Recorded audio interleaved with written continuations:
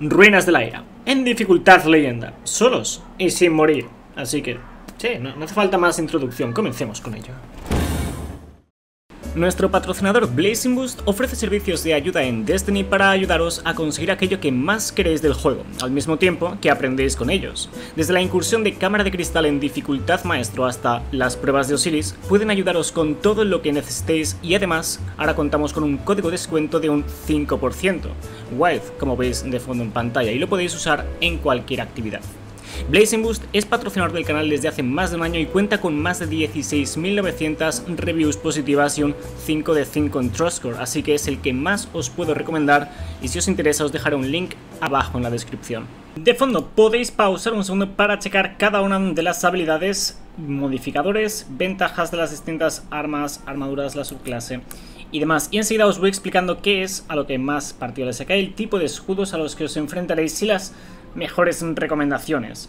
Veréis que sin duda la sala final es, es interesante. Ahora, si fuese con Titán, iría con coraza de, con la coraza de estrellas, probablemente, y la subclase de choque trono para causar buen daño, ¿vale? O sea, eso más que nada para causar gran impacto, ¿vale? Y, por ejemplo, a la hora de causarle daño al jefe va muy bien porque le pegas eso y luego ya, si quieres, te ocupas de sobrevivir y ya está, ¿no? Ah, de cualquier modo, esa es una recomendación para Titán, o Centinela, ¿no? El escudo, o de hecho la subclase solar de abajo, podéis hacer varias cosas con el Titán.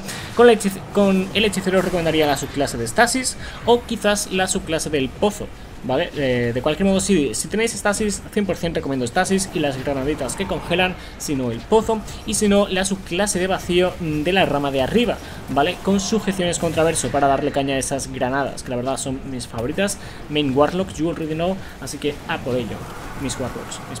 Dicho eso, ahí tenéis las recomendaciones, vamos al lío. Entonces, las cosas claras. Vuestro mayor peligro van a ser los caballeros con los escudos de arco, porque al final en particular habrán muchos escudos de arco. Así que 100% tenéis que ocupar un arma de arco. En mi caso, mi elección fue el fusil de fusión lineal Bueno, con daño de arco, el que habéis visto antes. ¿Vale? Y eso solamente lo utilizo para romper escudos y bueno, en ocasión para terminar con algún caballero. Ya sea porque me sobra la munición o porque está muy lejos. Pero como veréis, con Telesto me apaño muy bien para fundir todo tipo de enemigos e incluso, aunque tengan el escudo, Telesto y los explosivos hacen que el escudo dure 2 voltios. De hecho, le pegas dos tiros a bien pegados, quiero decir completos a un escudo y lo rompe, o si no, pues un tercero o un cuarto si es necesario, depende de lo lejos que esté y lo manco que seas. Pero sí, es muy fácil romper escudos con Telesto, de cualquier modo, lógicamente para los caballeros, ocupad un arma de arco, ¿vale? Al final lo necesitaréis y mucho.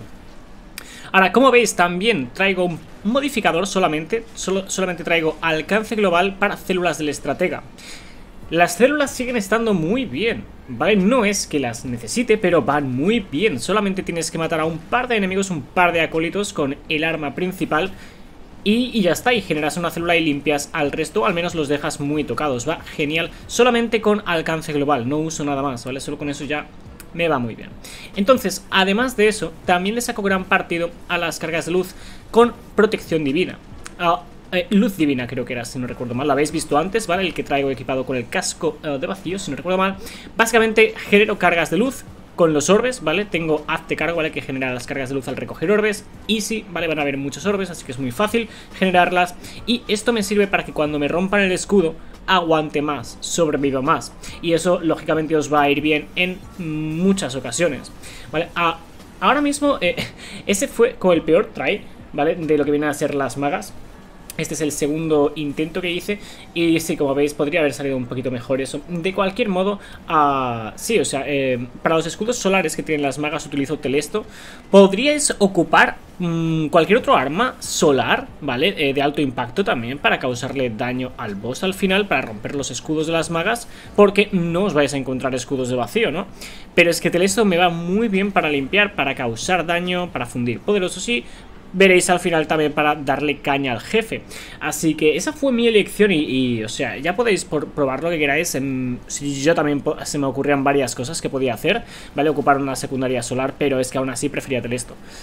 ¿Vale? Por lo bien que limpio, o sea, es que me, encanta, ya, ya sabéis, Telesto es de esto para mí. Y, también fue mi elección para este en particular. No la utilizo siempre, pero en esta sí que le saqué partido. O sea, fijaos la facilidad con la que fundo esos ogros. Es que no me cuesta nada, apenas, bueno, sí, uno, dos disparos, literal. Y para el imparable son cuatro o cinco disparos. Vale, o sea, los imparables no son nada contra mi Telesto. Y imparables de hecho tampoco os encontraréis mucho, os encontraréis ese solamente y luego más adelante veréis otro, ¿vale? Vamos a pasar por todos los campeones. Aquí estáis viendo, bueno, pues cómo voy a por la munición. Importante en cuanto a la munición.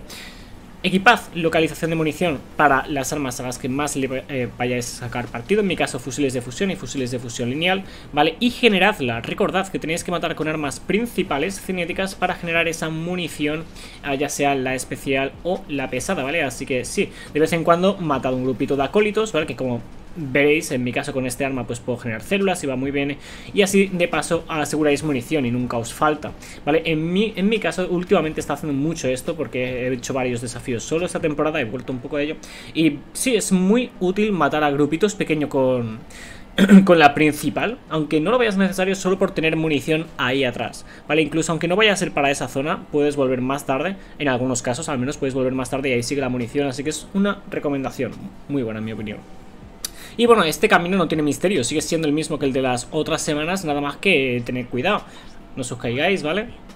Esta segunda baliza es un tanto más complicada por las áreas por las que puedes moverte, ¿vale? Porque antes teníamos todo el inicio, la verdad que la sala de antes, o sea, bueno, la primera baliza es muy sencilla porque te puedes mover por un área realmente amplia, o sea, tienes uh, muchas posibilidades, tienes un tiempo ilimitado realmente. Eh, a menos que quieras una puntuación, que para qué. Y sí, un poco fail lo del telesto ahí, pero como veréis, uh, sí, una um, super ahí va muy bien, ¿vale? A veces la, mejor defensa es un buen ataque, y bueno, pues cuando veáis la ocasión, aprovechad la super o lo que sea para fundir grandes grupos de enemigos justo cuando aparecen, eso siempre está bien. Ahora, aquí el mayor problema en mi opinión son las magas, veréis uh, más tarde caballeros, ¿vale? Pero al principio son las magas, ¿vale? Y veréis de fondo las zonas donde, donde me estoy moviendo, aquí arriba, uh, justo a mi derecha, se puede llegar a subir un acólito, ¿vale? Pero la verdad que es un muy buen área para ir despejando al principio hasta que aparecen los caballeros de más tarde.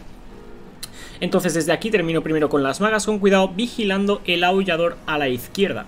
¿Vale? Por eso mismo no me voy mucho más lejos porque ese aullador de hecho ya me está disparando, ahí lo veis.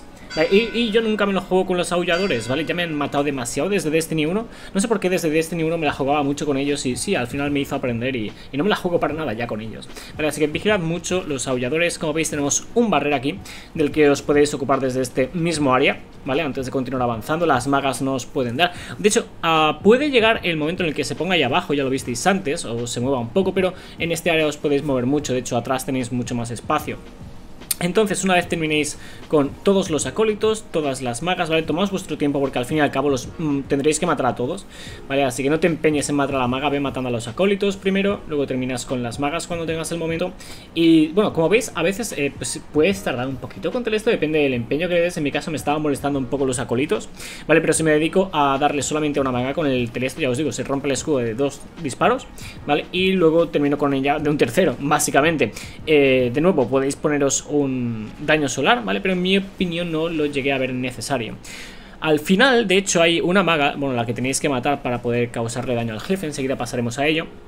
Y claro, esa estará un poco más, a más distancia, ¿vale? Pero ah, veréis más tarde que se puede hacer, ¿vale? Y pasaremos a una serie de consejos para que veáis las distintas formas en las que podéis completarlo. En fin, ya habéis visto cómo hemos avanzado por aquí, solamente nos queda la maga esa y ya después de terminar con ella aparece la oleada de, de caballeros, ¿vale? Así que vamos a avanzar directamente a ello. Entonces, una vez aparecen, como veis, tomo distancia y el área donde estoy justo ahora me parece que es el único lugar donde nos pueden llegar porque Mm, son muy trolls, no, no sé si en mi caso es como que ese día mm, se me bugueaba un poco, como veis se me teletransportan constantemente y se me teletransportaban al lado, como veis, o sea, si estuviera en ese área se me habrían teletransportado los tres, igual me habrían one-shoteado, ¿sabes? Entre los tres, así que por eso mismo no me la juego nada con ellos, al menos hasta que ya he despejado bastante. De nuevo, con la Telesto les puedes bajar el escudo rápido y supongo que ya habréis visto más de un ejemplo de ello, ¿vale? Pero en este caso, claro, ahí sí que te tienes que sacar partido a la terciaria, bueno, al elemento de arco que traigas, en cualquier caso y darles eh, para romper el escudo al menos. Luego ya si quieres le metes un telestazo y te ocupas del porque la telesta no tiene eh, caída de daño y bueno, Es de esto, ¿vale? O sea, nada más que decir. Entonces, muchos caballeros, muchos acólitos y el único campeón que os encontraréis es una antibarrera, ¿vale? Así que realmente no tiene misterio nada más tener cuidado por estas áreas porque se os pueden teletransportar al lado, literal. O sea, ahora mismo se me puede teletransportar uno atrás, porque, o sea, os lo digo porque me ha ocurrido.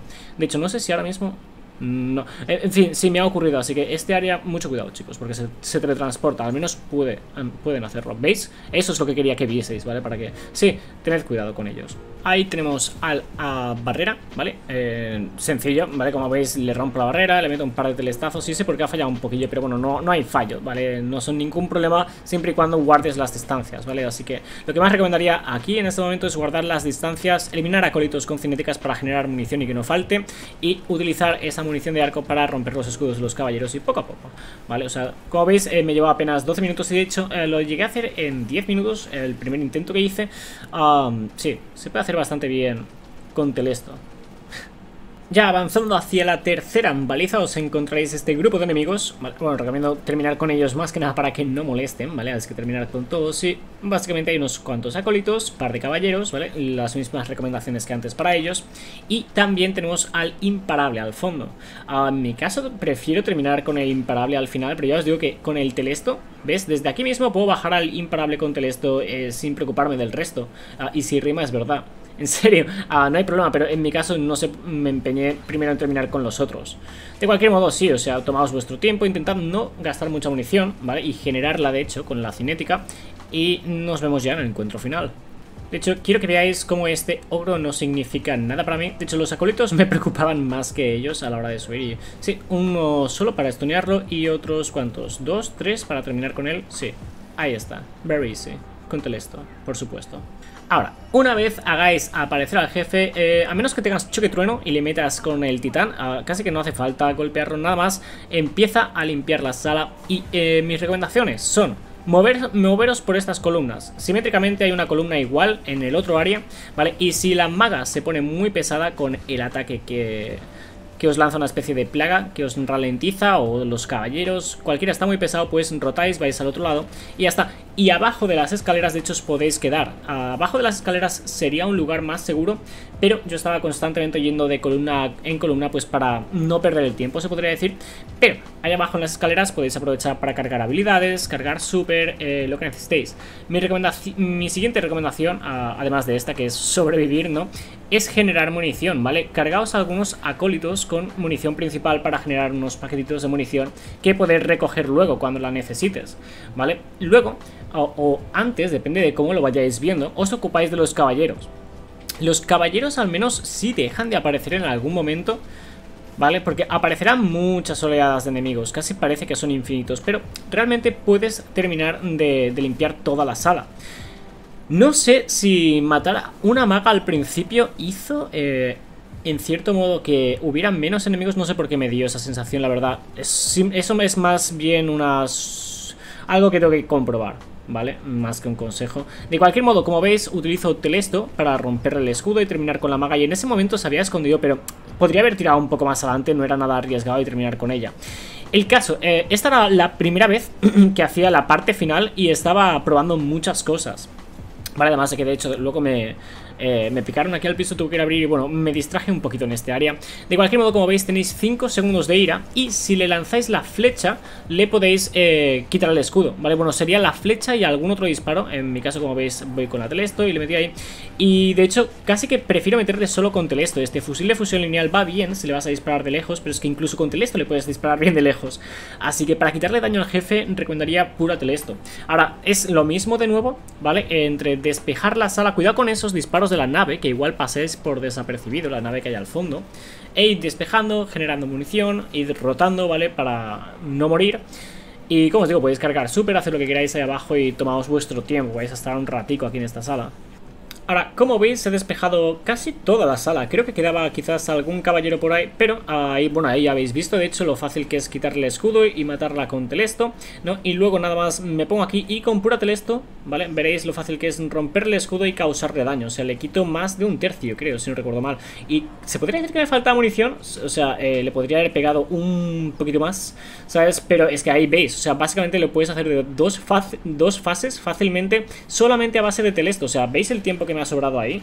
Y no tenía munición de telesto. si, si lo hubiera tenido, pues eso, le quitáis la mitad, así tal cual. eso sí, con la sala despejada. Si no tenéis la sala despejada, pues se os complicará un poco más la cosa. Pero poder se puede hacer y ahora ya es cuestión de cuidarse eh, un poco, ¿vale? Cuidado con vuestra vida y romper el escudo una vez más para terminar con él. Aquí ya podéis ver los momentos finales, ¿vale? Como teníamos, eh, bueno, tenía en mi caso la ira ahí al lado, pues me fui un poquitín para atrás y Dios, esto fue un poquitín arriesgado, no quería que me pisara, no sé qué estuvo haciendo ahí el jefe para ponerse detrás mío. Pero, a nada, a base de telestazos, esto lo tenemos hecho, claro que sí. Dicho eso, espero que os haya gustado la guía y sí, sé que puede ser algo sorpresa Telesto, o sea, no en mi canal, ¿no? Porque o sea, Telesto es de Best yo, el nuevo que me gusta el arma, pero sí, en esta ocasión es una de esas en que la recomiendo, la recomiendo para muchas cosas, ¿no? No siempre la uso, ya os lo digo, pero sí, o sea, mi caso me hizo todo esto mucho más sencillo. Estuve ahí media hora, como os digo, porque eh, tuve que ir a abrir la puerta y liarme un poco, ¿no? Pero esto lo podéis hacer fácilmente de 20 minutos, alrededor de 20 minutos. Hablando de solo, y como veis lo hice platino, y importante destacar, de hecho, que hay un caballero antibarrera durante este encuentro, ¿vale? Uh, si despejáis la sala completa, pues lo hacéis, o sea, antes de quitarle vida al jefe, quiero decir, ¿vale? Aparece la antibarrera y lo mataréis eventualmente antes de despejar la sala entera, así que no hay pérdida. Y el platino pues ya, ya lo habríais sacado también. Así que dicho eso, espero que os haya gustado el vídeo. Dejadme vuestras recomendaciones abajo en los comentarios si las tenéis. Dicho eso, nada más, bendiciones. Dile a tu madre que la quieres, suscríbete si no lo estás Y vete a checar otro vídeo. Adiós